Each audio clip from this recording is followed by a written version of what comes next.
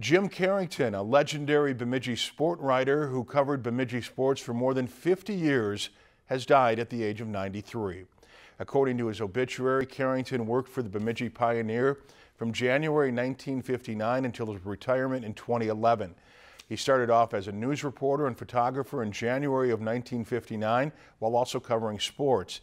He became the full-time sports editor of the Pioneer in June of 1972 and was a fixture at Bemidji sporting events throughout his years on the job.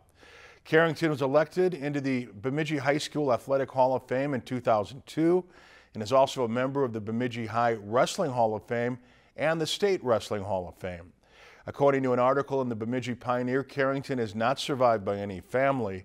His estate will be set up to form the Carrington Foundation to support and promote youth baseball and other youth and high school sports, especially sports lacking in fundraising capabilities.